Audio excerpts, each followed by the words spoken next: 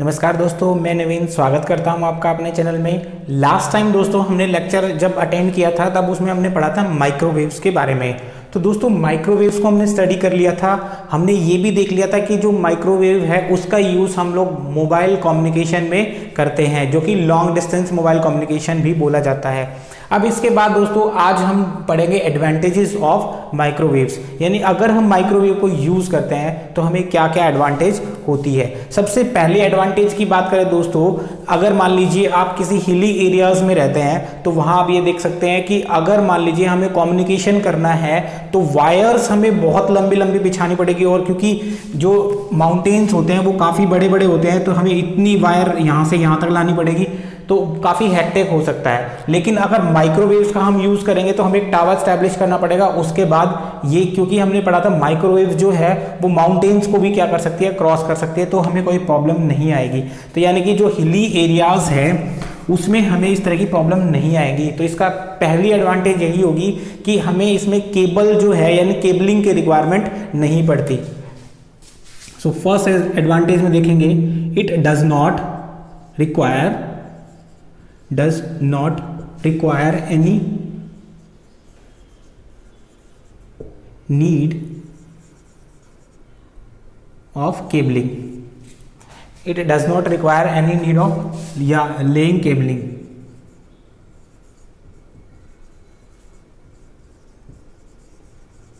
cables को हमें डालने की ज़रूरत नहीं पड़ती दूसरा दोस्तों अगर बात करें हम लोग तो माइक्रोवेव्स की हेल्प पे या माइक्रोवेव जो है, एक साथ पच्चीस हज़ार वॉइस चैनल को कैरी कर सकता है।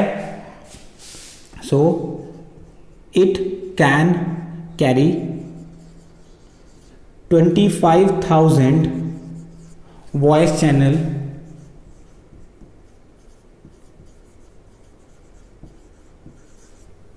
at the same time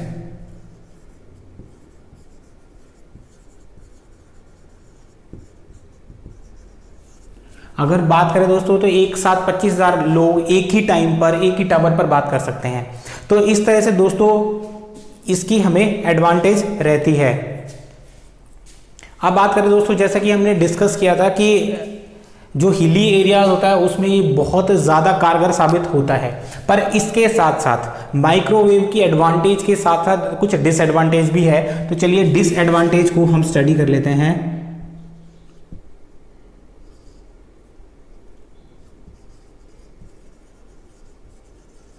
disadvantage तो सबसे पहली डिसएडवांटेज आती है दोस्तों, क्योंकि हमें पता है कि इसके अंदर माइक्रोवेव सिग्नल्स को ट्रांसमिट किया जाता है या हाई फ्रीक्वेंसी रेडियो वेव्स को हम लोग क्या करते हैं? ट्रांसमिट करते हैं। तो दोस्तों, एक डिस्टेंस तक जाके वो जो से रेडियो सिग्नल्स है, वो वीक हो जाता है। इसलिए हमें उसे बार बार एम्पलीफाई करने की रिक्वायरमेंट पड़ती है।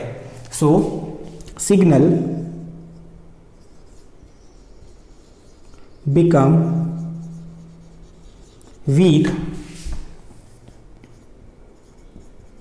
after a certain distance after a certain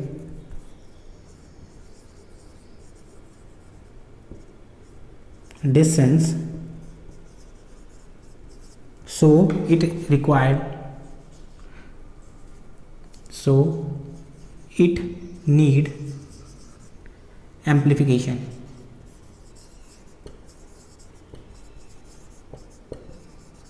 तो इसे एम्पलीफिकेशन की रिक्वायरमेंट रहेगी। अब दूसरी बात कर लेते हैं दोस्तों सिग्नल वीक हो जाता है तो हमें एम्पलीफाई करना पड़ता है और उसके लिए हमें रिपीटर्स की रिक्वायरमेंट पड़ती है। तो दोस्तों, हर 25 टू 30 किलोमीटर पे हमें इसमें रिपीटर की रिक्वायरमेंट पड़ती है।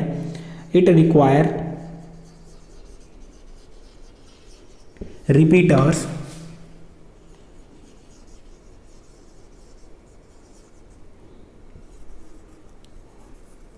in every 25 to 30 kilometers. 25 to 30 kilometre distance हर 25 से 30 किलोमीटर पे दोस्तों हमें एम्पलीफायर रिपीटर्स की रिक्वायरमेंट पड़ती है सिग्नल को एम्पलीफाई करने में। अब दोस्तों अगली डिसएडवांटेज देख लेते हैं, क्योंकि माइक्रोवेव्स है दोस्तों, इसलिए इसकी जो मेंटेनेंस है इंस्टॉलेशन है, वो काफ़ी एक्सपेंसिव होती है। So its installation its installation and maintenance is expensive installation and maintenance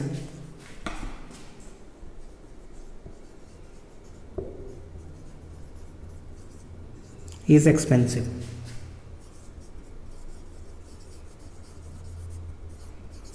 दोस्तों, इसकी मेंटेनेंस और इंस्टॉलेशन काफ़ी एक्सपेंसिव होती है। दूसरी बात, एक और जो हम स्टडी कर लेते हैं दोस्तों, जैसे हमने पहले ही पढ़ा जो रेडियो वेव्स के बारे में हम बात कर रहे थे, जैसे वो अफेक्ट हो जाती है बैड वेदर कंडीशंस में, ये भी अफेक्ट होता है वेदर कंडीशंस में। So it affected by weather condition it is also affected affect या अफेक्ट बोल सकते हैं इन वेदर कंडीशन और bad weathers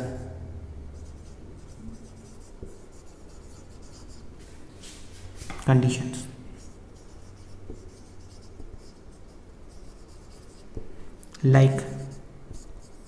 rain thunder thunderstorm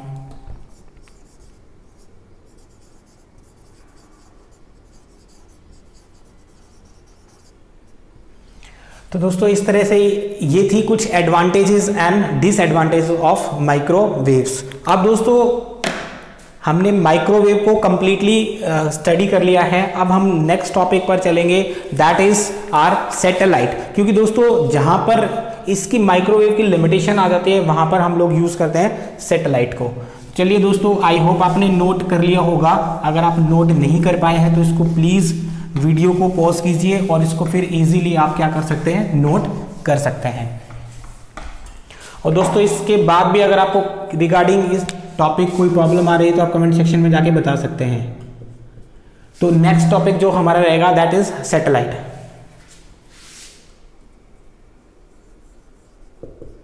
satellite तो दोस्तों सैटेलाइट को हम लोग, हमें पढ़ना है। तो दोस्तों, अगर बात कर लें सैटेलाइट की तो सैटेलाइट भी एक मैन मेड ऑब्जेक्ट होता है, जो हमारी अर्थ से बाहर होता है और काम करता है ट्रांसमिशन और रिसीव रिसेप्शन ऑफ़ सिग्नल्स का। तो दोस्तों, इसको पहले डिटेल में पढ़ने से पहले मैं आपको थोड़ा सा बता दूँ कि एक्चुअल में क्या होता है सैटेलाइट तो देखिए दोस्तों, मान लीजिए ये हमारी अर्थ है।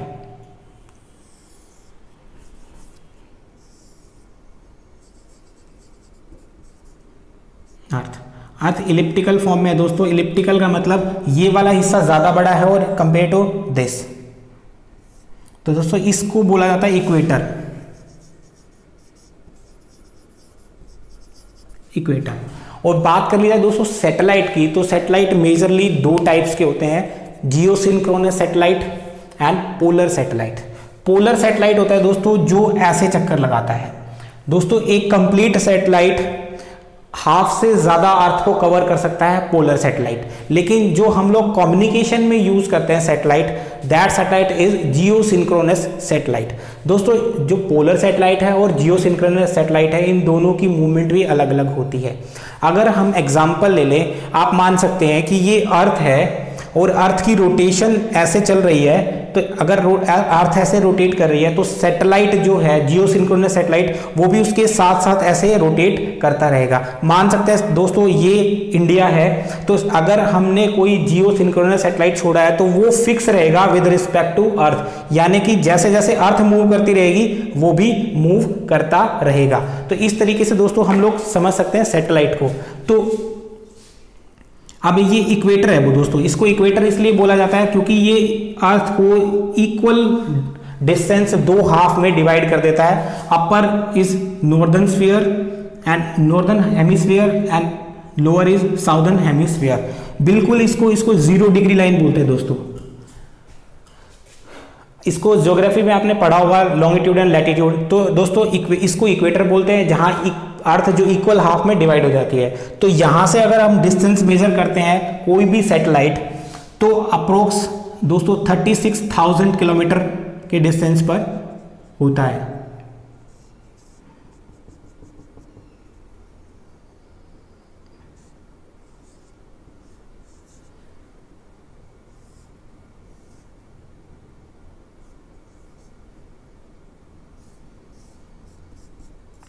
इसको हम डायग्राम के थ्रू समझ सकते हैं।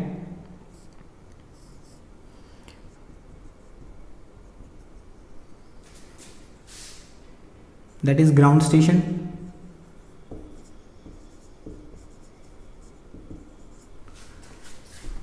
that is earth reception station इसको बोल, बोला जाता है दोस्तों अपलिंक दैट इज़ डाउनलिंक अब दोस्तों कुछ चीज़ें हमने समझी।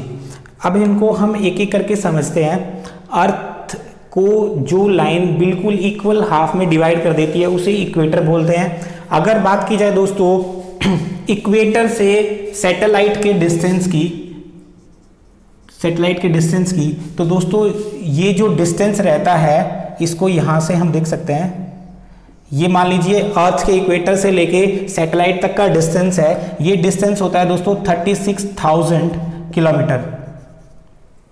यानी कि जब भी हम सैटेलाइट को भेजते हैं स्पेस में तो अर्थ के इक्वेटर से उसका डिस्टेंस 36,000 किलोमीटर होता है।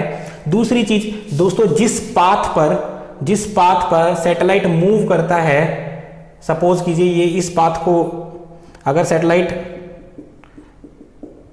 इस पाथ पर चल रहा है डॉटेड डॉटेड जो पाथ मैंने आपको दिखाया, इस पाथ को बोला जाता है दोस्तों orbit that is called orbit path is called orbit तो यानी कि जिस रास्ते पे सैटेलाइट मूव करता है अर्थ के साथ में, उसको ऑर्बिट बोला जाता है. अर्थ रोटेट करती है उस हिसाब से ये भी रोटेट करता है लेकिन अर्थ के रिस्पेक्ट में इसकी पोजीशन चेंज नहीं होती। इसको समझने के लिए हम देखते हैं दोस्तों पहले हम लोग ये देखते हैं सैटेलाइट एक्चुअल में काम कैसे करता है? जब हमने अर्थ स्पेस में अर्थ से अबाउ स्पेस में सैटेलाइट को छोड़ दिया 36,000 किलोमीटर ऊपर की तरफ़ तब क्या करते हैं दोस्तों ग्राउंड से ग्राउंड स्टेशन बना होता है, जहाँ से हम लोग सिग्नल भेजते हैं सैटेलाइट को। तो सैटेलाइट दोस्तों यहाँ से रिसीव करता है, इसे रिसीवर बोलते हैं। आर लिखता हूँ दोस्तों दैट इज़ रिसीवर और ये यहाँ पे ग्राउंड स्टेशन से टी एक्स है दैट इज़ ट्रांसमीटर तो ये ट्रांसमिट करेगा सिग्नल को, ये रिसीव करेगा। तो ग्राउंड से सिग्नल को सैटेलाइट पर भेजना कहलाता है अपलिंक ऐसे ही दोस्तों, जैसे ये रिसीव करेगा सैटेलाइट उसके बाद एम्पलीफाई करेगा सिग्नल को और वापस भेज देगा अर्थ स्टेशन यानी ग्राउंड पे जो स्टेशन बना हुआ है, उसके ऊपर। तो दोस्तों, जब सिग्नल यहाँ से ये इसका सैटेलाइट का टी और ये अर्थ स्टेशन का आर ये जैसे ही सिग्नल को रिसीव करेगा तो डाउन वापस आने को बोलते हैं दोस्तों डाउन लिंक ये रिसीवर अर्थ स्टेशन बोलते हैं इसको, या रिसेप्शन ऑफ़ सिग्नल बोलते हैं। अब बात करते हैं दोस्तों, ये जो डेटा ट्रांसमीटर से, यानी अपलिंक के थ्रू सेटेलाइट पर जा रहा है, उसकी स्पीड की तो उसकी स्पीड होती है दोस्तों 16 सॉरी जो डाटा ट्रांसमिशन ट्रांसफ़र स्पीड होती है that is 1 to 10 G B P S G B P S gigabit per second इतनी स्पीड होती है दोस्तों। आई होप आपको डायग्रामेटिकली ये चीज़ समझ आ गई होगी। अगर फिर भी कोई प्रॉब्लम है दोस्तों तो मैं नोट डाउन करवा रहा हूँ। अदरवाइज़ आप लोग कमेंट सेक्शन में जाके बता सकते हैं। तो चलिए दोस्तों एक एक करके हम लोग इन सबको नोट करते हैं। डायग्राम आप पहले बना लीजिए। तो अब हम लोग करते हैं इसको नोट डाउन कि क्या क्या इंपॉर्टेंट चीज़ें हमने इसमें पढ़ी। तो सेटेलाइट में सबसे पहले आता है दोस्तों it can carry large amount of signals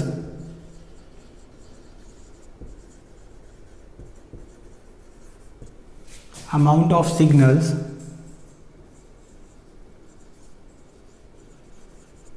along with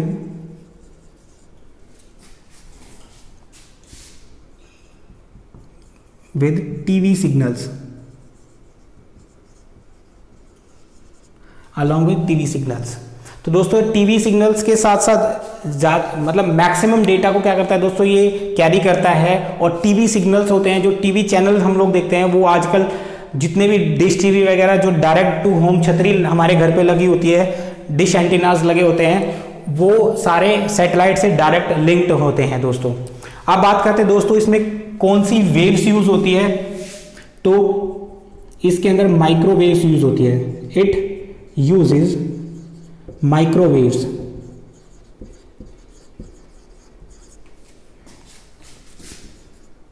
for transmission and reception.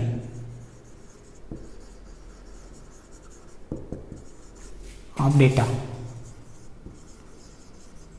Data को ट्रांस ट्रांसमिशन करने में या ट्रांसफ़र करने में दोस्तों यूज़ होता है माइक्रोवेव्स अब अगर बात कर ले तो दोस्तों कि कितने डिस्टेंस पे तो हमने देखा था ये कितने डिस्टेंस पे that is 36,000 kilometre about the equator तो दोस्तों इसको ऑर्बिट में स्टैब्लिश किया जाता है अर्थ के इक्वेटर से छत्तीस हज़ार किलोमीटर ऊपर। So it is placed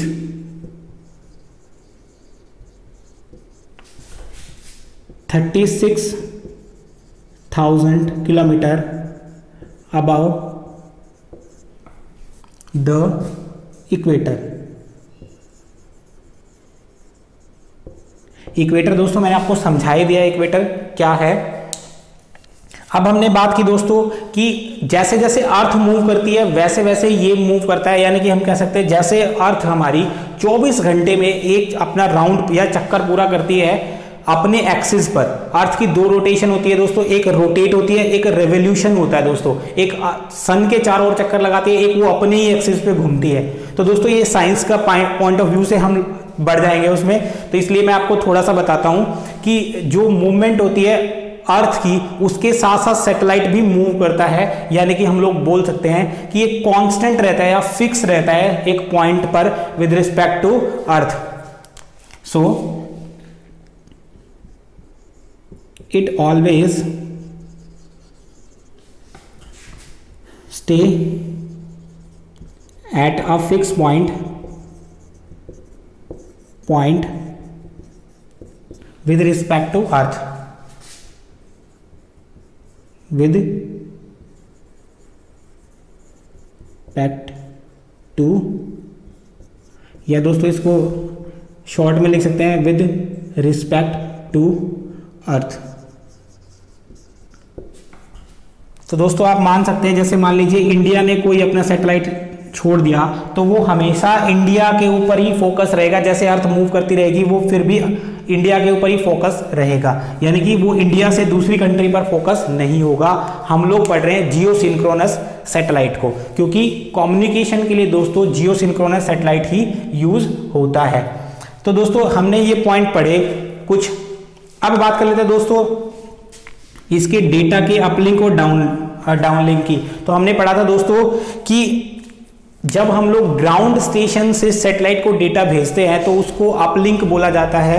और जब हम सैटेलाइट से ग्राउंड स्टेशन पर डेटा को रिसीव करते हैं तो उसे डाउनलिंक बोला जाता है। So data send to the satellite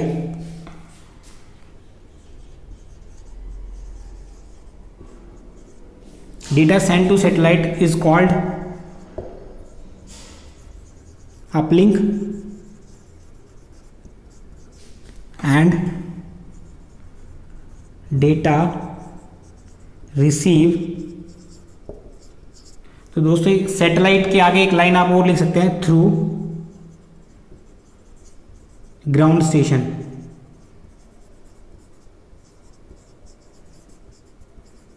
इसके बाद में आप यहाँ से लिख सकते हो। And data receive from satellite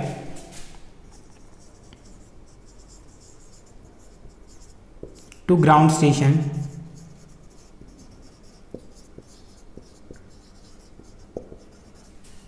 is called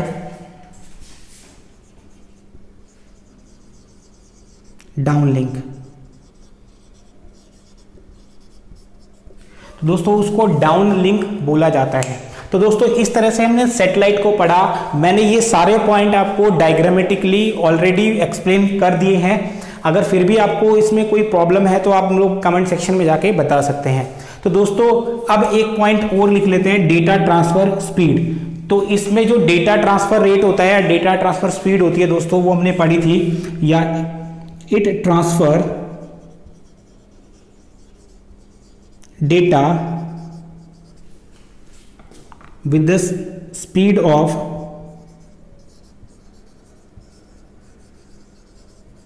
speed of या इसको लिख सकते हैं डेटा ट्रांसफ़र स्पीड या data transfer rate data transfer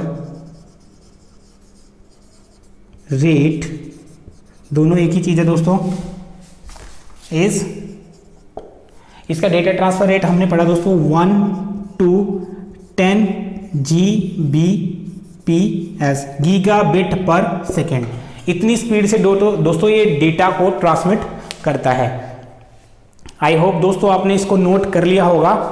तो अब हम लोग पढ़ लेते हैं इसकी एडवांटेजेस और डिसएडवांटेजेस के बारे में कि या अगर हम यूज़ करते हैं सैटेलाइट कम्युनिकेशन तो हमें कितनी एडवांटेज हो सकती है या क्या क्या एडवांटेज हो सकती है? और इसके कितने नुकसान हो सकते हैं, अब हमें इन दोनों को ही स्टडी करना है। तो पहला हम पढ़ लेंगे दोस्तों advantages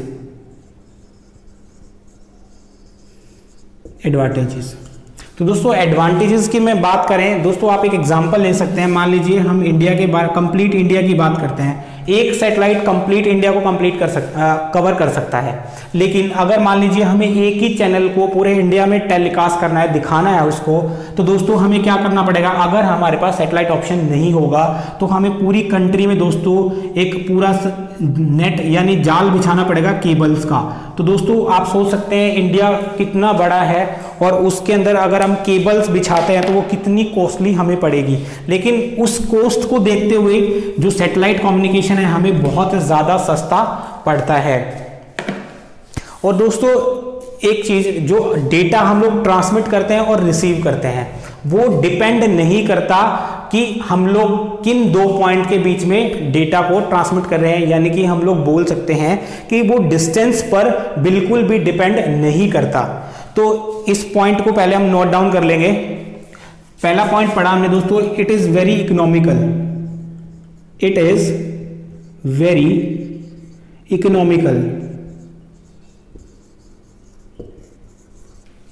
it is very economical क्यों? क्योंकि हमने पढ़ा था दोस्तों कि जितन, अगर हम पूरे इंडिया में केबल्स बिछाएँगे तो उसकी कॉस्ट बहुत ज़्यादा आएगी as compare to satellite communication so keeping in mind that keeping in mind that the distance covered by the distance covered by the satellite distance covered by the satellite or distance covered by it is very large.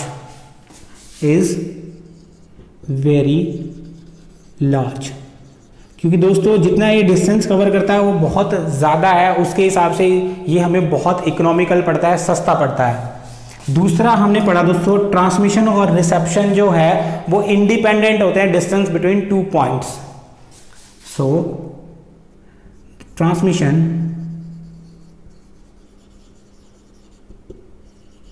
and reception.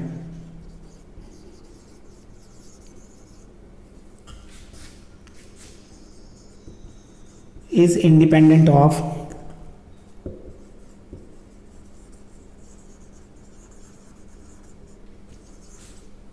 independent of the distance between between two points और ये दो point वही है दोस्तों, जहाँ से data हमने send किया है और जहाँ हमने डाटा रिसीव किया है। तो दोस्तों, ये कुछ एडवांटेजेस थी हमारी सेटेलाइट कम्युनिकेशन की। अब हम लोग पढ़ते हैं दोस्तों disadvantages of satellite communication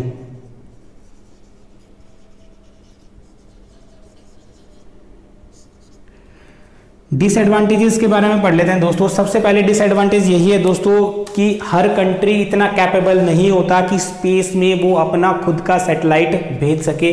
पहली चीज़, बहुत ज़्यादा कॉस्टली होता है। दूसरा रिसोर्सेज भी नहीं होते। हर कंट्री के पास रॉकेट नहीं है। या जैसे इंडिया के पास इसरो एक ऑर्गेनाइजेशन है जो स्पेस से रिलेटेड सारे जो प्रोग्राम्स है, उनको कंडक्ट करती है। अगर बात की जाए इसरो की, दोस्तों that is Indian space research organisation तो दोस्तों इंडिया के पास है वर्ल्ड में सिर्फ़ छह कंट्री है, जिनके जिनके पास ये पावर है कि वो अर्थ से बाहर अपना सेटेलाइट भेज सकते हैं।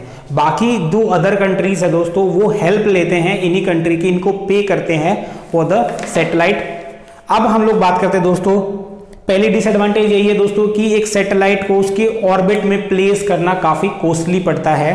So placing a satellite into orbit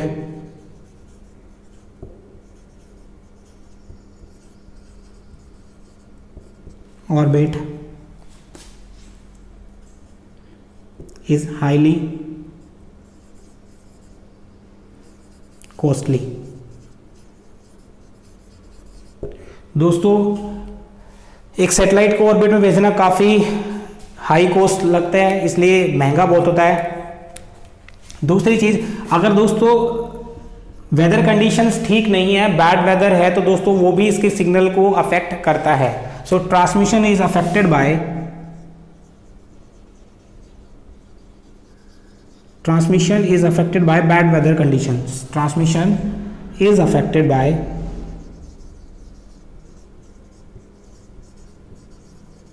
by bad weather conditions. Like like, जैसे हमने पढ़ा rain rain thunder storm etcetera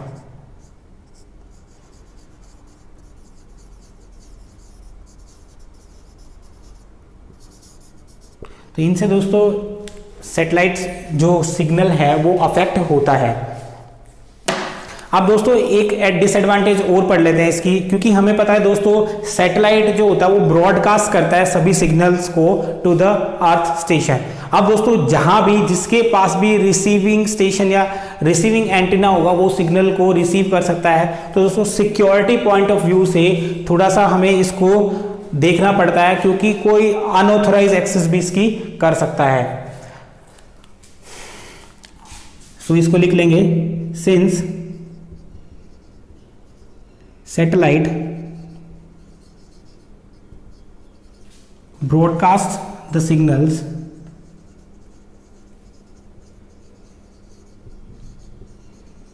signals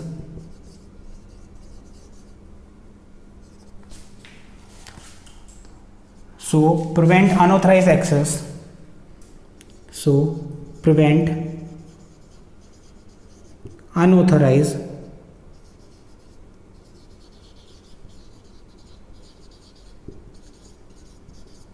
access.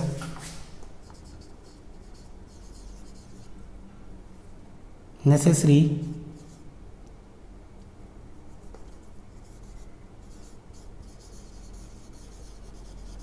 necessary measures have to be taken.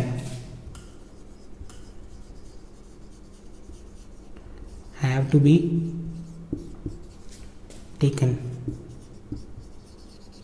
ठीक है तो दोस्तों, हमें नेसेसरी स्टेप्स लेने पड़ेंगे अनऑथराइज एक्सेस से बचने के लिए। तो दोस्तों, ये था हमारा सैटेलाइट कम्युनिकेशन इसके साथ ही दोस्तों, अगर हम बात करें, हमने नेटवर्क या हमने बात बात करें, हमने network transmission media topic start किया था, या ट्रांसमिशन मीडिया टॉपिक स्टार्ट किया था, जिसमें हमने दो टाइप की मीडिया को पढ़ा था। First is wired and second is wireless या जिसको बोला था हमने गाइडेड और अनगाइडेड मीडिया तो दोनों इस, दोस्तों, इसके साथ हमने दोनों के दोनों कंप्लीट कर लिए हैं।